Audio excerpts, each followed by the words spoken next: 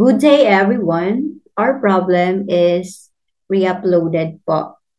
We will discuss it in more detailed way para masagot po natin ang comment.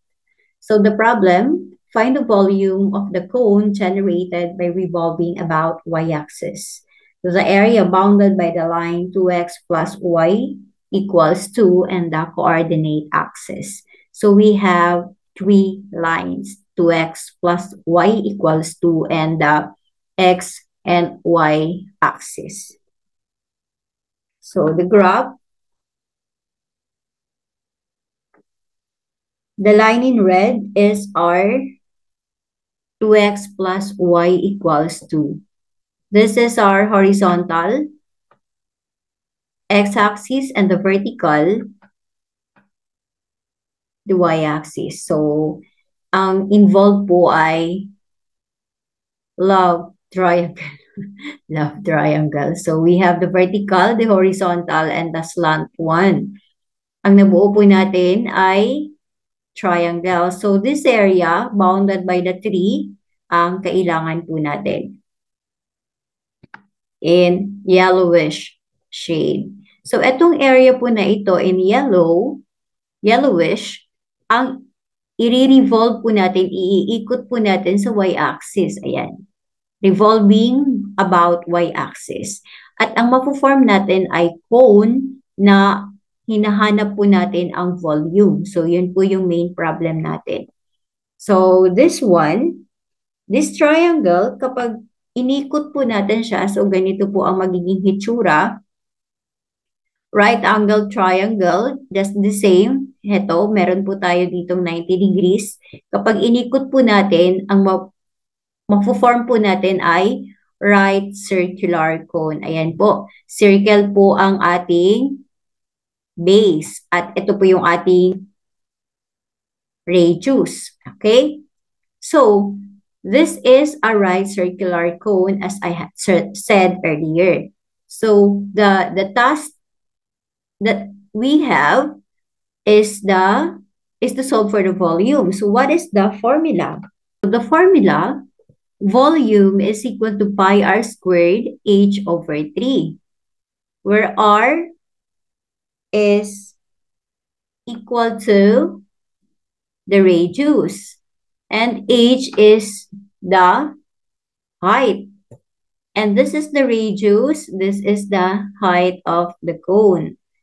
So, By graphing, alam na po natin agad na radius is equal to 1 since half ng 2. Therefore, radius is 1 and the height is 2.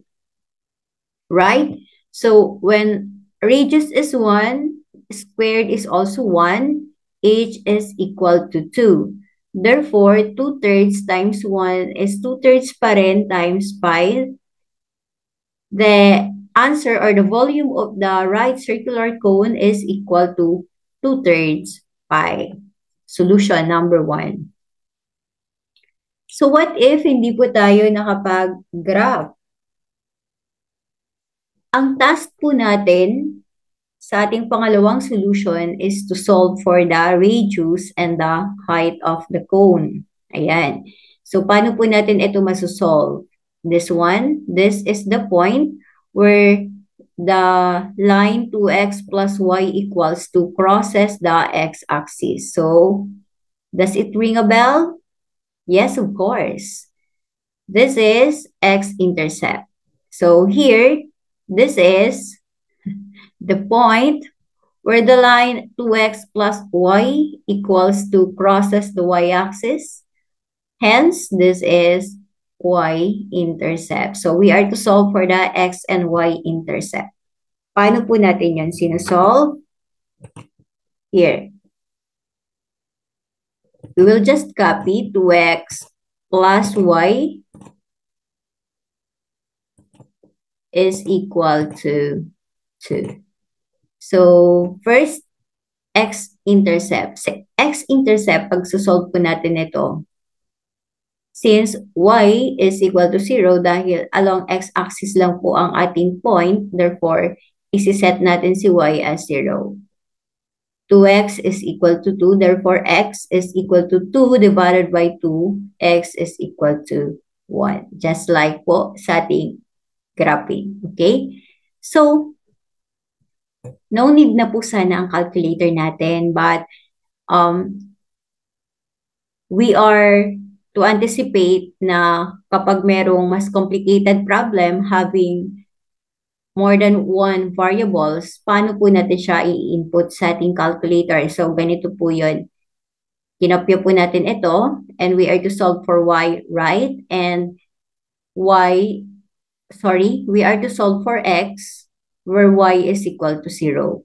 So, ganito po, dalawa ang ating variables, comma, then after that, kung ano po yung variable na isosolve natin. So, dahil si x po yung isosolve natin, si x po yung ilalagay natin dyan. Meron po tayong equal sign, shift, calc ang ating gagamitin. Ayan. Tinatanong po tayo kung ano ang value ni y. Ba si y po ay 0. So we will input 0, equal sign para isolve ni calculator ang x. Therefore, x is equal to 1. So ganun lang po kapag meron tayong two or more variables. Okay po. So this is, this point is 1, 0. Solve for y-intercept. Just like po kanina, y-intercept, dahil y-axis, wala tayong x-coordinate, x is equal to 0, automatically y is equal to 2. So yes, y is equal to 2. So dito, for mastery, dahil we are to solve for y, si y ang ilalagay natin, shift calc, x is set to be 0 dahil we are solving for y-intercept. And y is equal to 2. So, okay, so ayan, we have now 0, 2. And this is the question na sasagutan po natin or sasagutin natin paano po nalalaman na value ng x and y na zero? Thanks po. Dito, sa ating problem, specified po na the area bounded by the line and the coordinate axis. So, x and y axis are kasama po sa ating boundaries. Kaya, kinailangan po nating isolve ang x and y intercept na ito po, nag ginamit natin ang x equals 0 and y equals 0. So, paano po natin malalaman na x equals 0 and y equals 0 kapag magsusolve po tayo ng point along x-axis, y equals 0, kapag magsosolve po tayo ng point along y-axis, x equals 0 and this is the x-intercept, this is the y-intercept. Okay pa? Sana nasagot na po ma'am. So if ever na malabo pa po, kindly comment down so we can explain further. Okay? So the volume, pi times r, which is 1 squared is all, also 1, and h is equal to 2. So, 2 thirds pi pa rin po ang ating sagot. Okay? So, here, 2 thirds pi, letter C. So, we have two solutions na. And, wait, there's more. The third one. So, Since revolving, we are considering volume of solid revolution in calculus, integral calculus application. So, iyon po ang ating third solution. Okay? Ayan. Revolving about y-axis. Since y-axis is one of the boundaries, therefore, we will use this method. So, paano po ba ang pagsosolve ng this method? Here is the formula. Ang problem po natin is to revolve around y-axis. Therefore, ito po ang ating gagamitin. Okay? Gagamit po tayo dito ng horizontal strip. Lumampas. Ito po ay pwede po siyang gumalaw from here up to there. Therefore, kasi 'di ba, ito po yung ating iikot sa y, y-axis. Kaya ito po, ganyan. This, pag inikot po natin yan, ang mabubuo natin ay this, kaya this method. And ang magiging limits po natin dahil ang ang movement po ng ating disk na ito is from here to there. Therefore, the lower limit is 0 and the upper limit is 2. Ayan. Ayan po, ganun po ang pag-consider natin. So, ito na lang po, dito na lang po tayo mag-focus sa isang formula around y-axis. So, here. Let's note that function in terms of y. Function in terms of y, so palitan na lang po natin siya ng x squared. Okay? x squared para hindi na po tayo malito. So, x squared dy kapag to be revolved around y-axis. Hence, ito po ay i-in terms po natin sa x.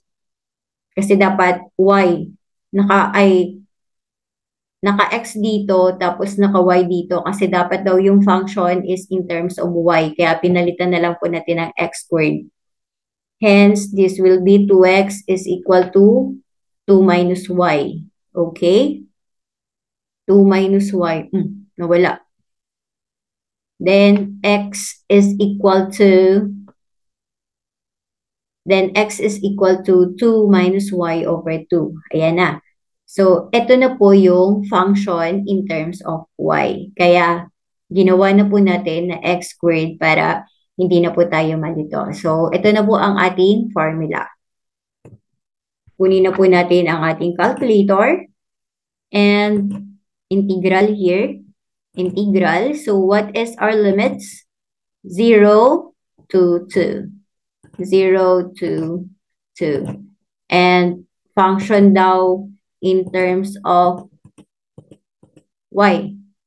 So x squared.